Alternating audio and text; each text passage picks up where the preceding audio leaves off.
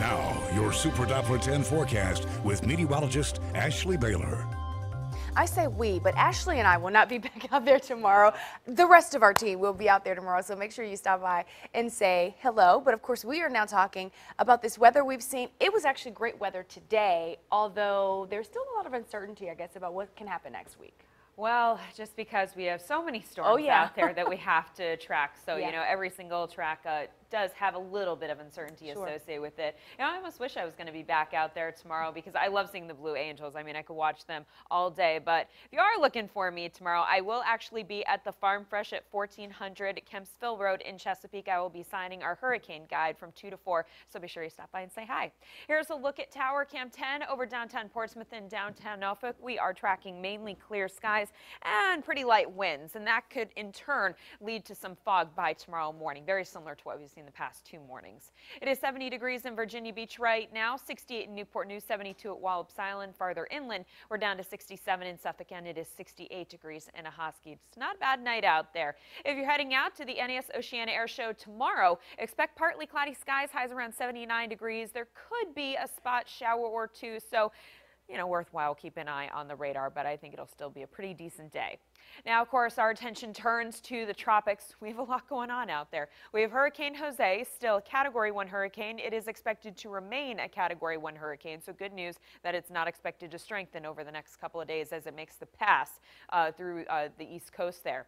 And we also have Tropical Storm Maria hanging out in the Atlantic, and we also have Tropical Storm Lee. I'm really not going to focus much attention on Tropical Storm Lee because it's not expected to strengthen, and it's also not expected to affect any land. Our main concern is going to be Jose and Maria.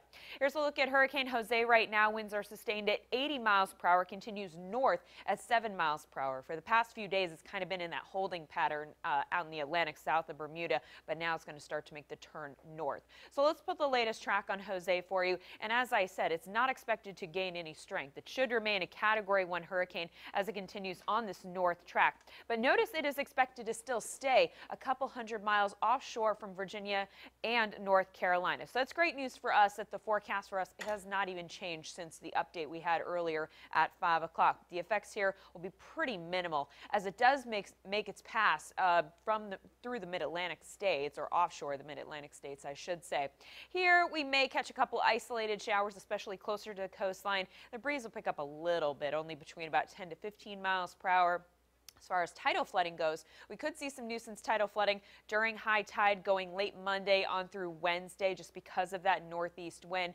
And so that's about it for us. And, you know, no surprise. The surf is going to be rough and there will be a high risk of rip currents. In fact, that'll be starting tomorrow. As you can see, Jose will likely weaken back to a tropical storm as it moves into cooler water. So it is expected to skirt away from southern New England. So that's great news for them, but it's still worth watching over the few, next few days.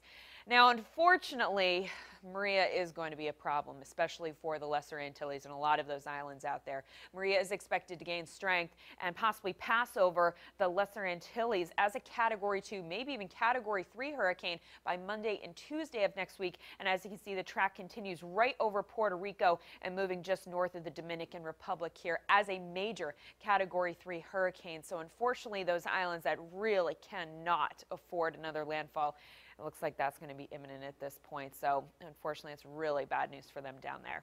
As we take a look at our future track forecast, just giving you an idea of what we can expect closer to home. Again, a couple spot showers possible out there tomorrow. We head into Monday. Watch as Jose starts to move up the coast. Look how far out it is going to be, though. I'm actually going to step on the other side of the screen so you can see Jose here. It's going to be well offshore, but we could catch, you know, a couple outer bands. So I won't rule out the possibility of an isolated shower closer to the coastline. And again, maybe a little bit of a breeze, but as I really can't emphasize enough, the effects here are going to be very, very minimal. So Jose passes well offshore Monday and Tuesday. Wednesday, we are dry. A couple isolated showers possible late Thursday and on into Friday.